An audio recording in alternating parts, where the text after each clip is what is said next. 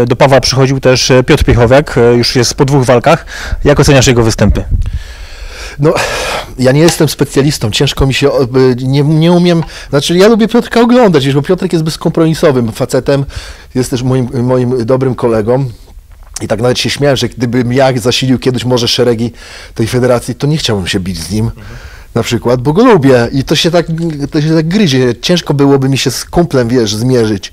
Natomiast y, jak na taką federację wiesz, śmieszkową, f- freak fightową i na staż Piotka, który tam chyba wynosi rok, to w tej ostatniej walce on taki przekrój pokazał, bo i tam y, trochę się pobił w stójce, udusił chłopa na sam koniec, y, trochę było y, tego parteru. No, no już chyba wiedział bardziej, co robił. Nie? Myślę, że też dźwiga tą presję, bo Piotrek jest też pracusiem. To się tak wydaje, każdy, kto wchodzi do tej klatki, e, no to musi się mierzyć z ogromnym stresem, podejrzewam. I myślę, że to połowa rzeczy wyuczonych nagle nagle rozumiesz, że gdzieś ucieka i masz po prostu, jesteś we mgle, nie wiesz gdzie jesteś, nic nie słyszysz, adrenalina buzuje. Można się moim zdaniem na minę wbić straszną za pierwszym razem. E, Nie umiem ocenić Piotrka, no bo ja nie mam oka fachowca, tak? Nie, nie jestem żadnym znawcą i nie będę się wypowiadał, że jest super tu i, co, i mógłby coś zmienić. Lubię jak walczy, niech walczy.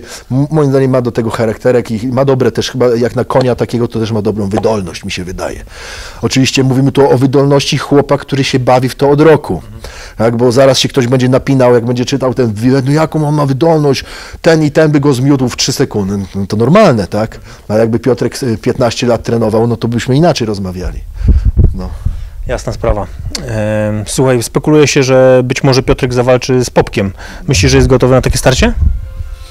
Ja Popka miałem okazję poznać osobiście. Yy, Piotrka też znam już jakiś czas. I co? I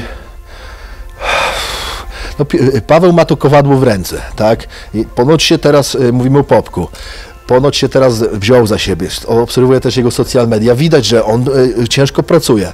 Ale ja nie wiem, jak u, niego z psychiką. Czy to jest chłop, który idzie po wypłatę, czy on naprawdę ma w sobie tego Popka, który w, na, w Anglii w 2009 czy 2008 roku bił się w tej gali brytyjskiej, gdzie było widać, że on jest tam, rozumiesz, taki e, no, naładowany tą agresją, że on chciał się bić i urywać komuś głowę.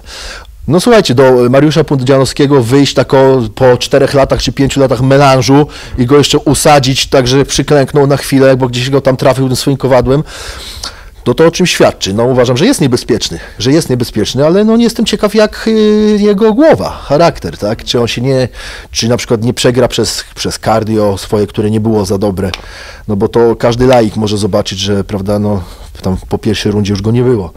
Telenowa, a Piotrek ma lepszą chociażby tą wydolność. Ale to tak jak mówi e, trener Paweł właśnie, że najpierw musisz mieć jaja, żeby się bić, mu- musisz to chcieć. To jest moim zdaniem podstawa, bo jak jesteś takim, wiesz, lebiodą, który, który się boi, nie, nie ma tego zacięcia, to, to, to nie jest dla ciebie sport.